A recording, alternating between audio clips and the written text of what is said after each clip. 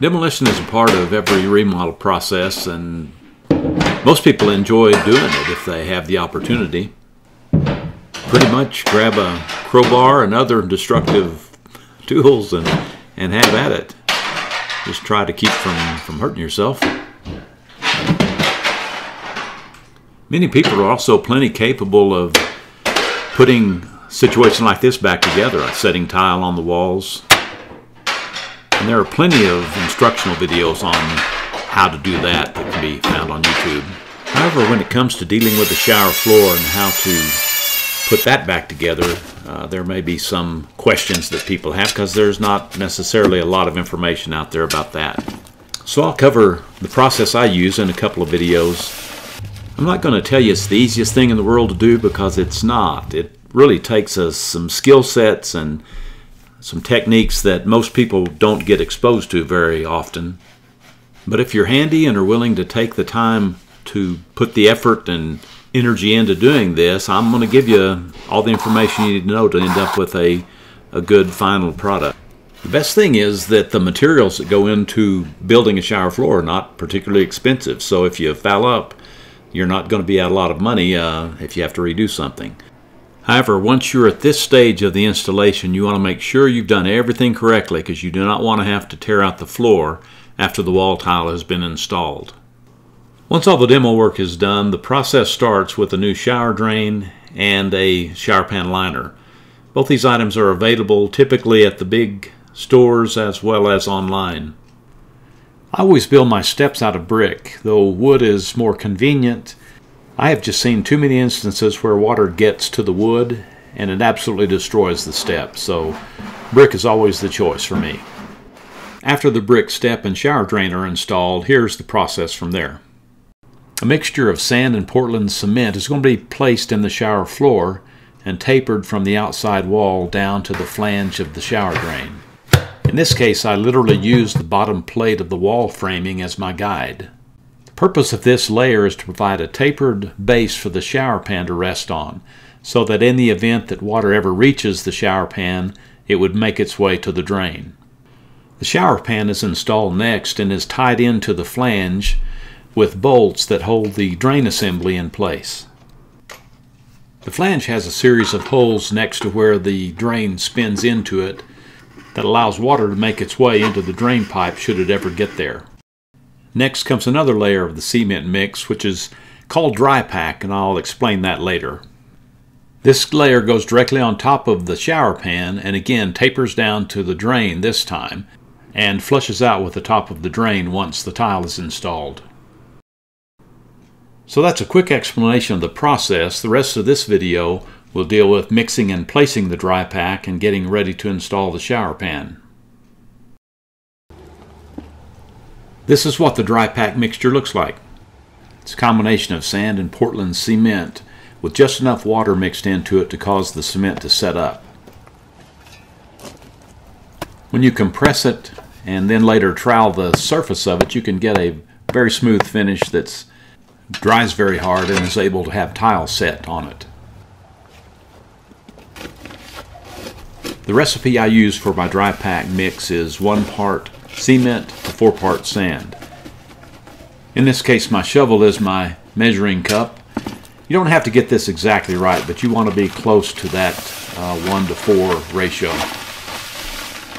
And the 50 pound bag of sand gives me about 6 shovelfuls of sand. In my mixing pan I have 3 parts cement and 12 parts sand. That's going to give me about enough mixture to do half of the floor, which is a four foot by four foot square. So I'm going to need to mix one more batch to have enough to do the whole floor. The easiest way to mix a dry pack is to chop through it with a hoe similar to what I have here. All I'm doing is pulling the pile from one end of the box to the other and with each chop pulling the material back up on top of the pile. Chopping through about three times is enough to mix the ingredients pretty well. To begin adding water to the mixture, I just create a series of valleys in the pile and then just add a little water as I go, chopping back through it again.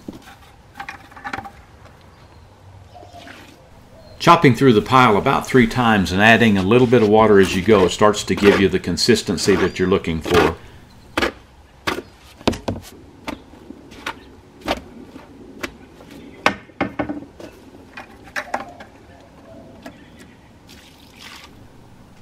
Once the pile is this consistent gray color, you're ready to go.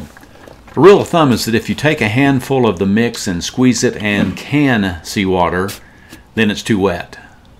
The problem with that is that it makes it a little bit more difficult to sculpt when you're trying to work it on the shower floor. If that happens, just add a little sand and chop back through the pile again.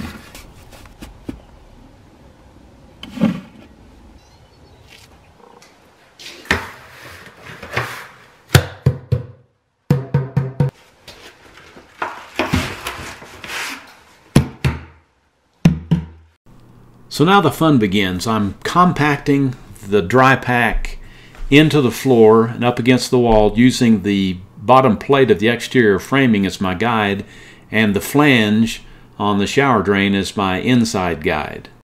My goal is to compact all this material into place and leave it about a quarter of an inch higher than I need for it to be.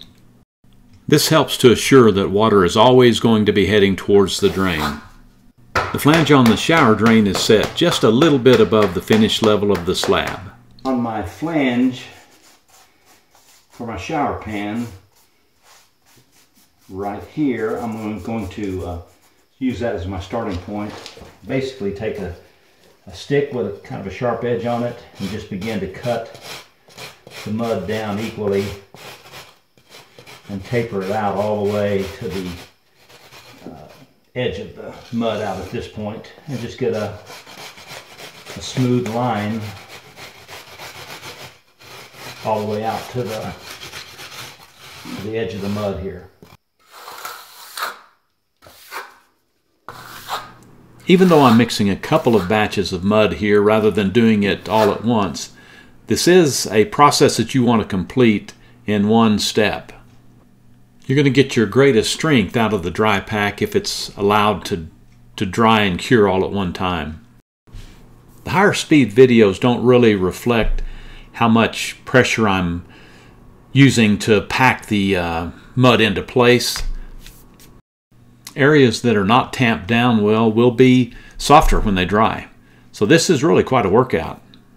Using the screed stick and the trowel, you can really feel the bumps that may be left in the floor as you're working, so you can make the floor as perfect as you want it to be.